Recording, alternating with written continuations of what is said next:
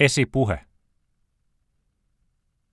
Olemme ryhmäaktivisteja, kouluttajia, sijoittajia, toimitusjohtajia, tutkijoita ja yrittäjiä.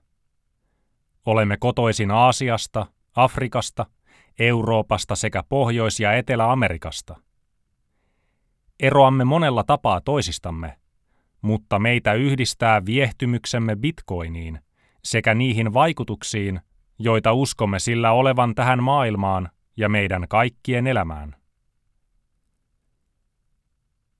Maaliskuussa vuonna 2019 Jimmy esitteli osalle meistä Booksprint-ideansa.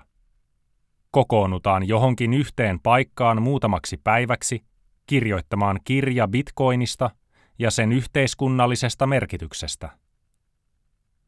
Kaksi kuukautta myöhemmin osallistuimme kaikki Aslo Freedom Forum-konferenssiin Norjassa ja tapasimme toisemme Oslon kattojen yllä keskellä kaikilta mantereilta yhteen tulleiden ihmisoikeusaktivistien ja toimittajien innostunutta puheen sorinaa. Keskustelu kääntyi väistämättä bitcoiniin ja sen maailmaa mullistaviin mahdollisuuksiin. Alex rohkaisi ryhmäämme kirjoittamaan kirjan, jossa selitetään, miksi bitcoinilla on väliä, käyttämättä sitä teknistä jargonia, jota niin moni tämän genren kirja on pullollaan.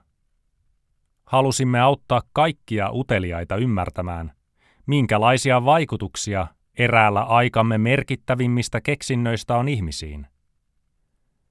Muutaman kuukauden kuluttua me kahdeksan tapasimme Kaliforniassa ja toteutimme ideamme. Sinulla on nyt käsissäsi tuon nelipäiväisen rupeaman tulos.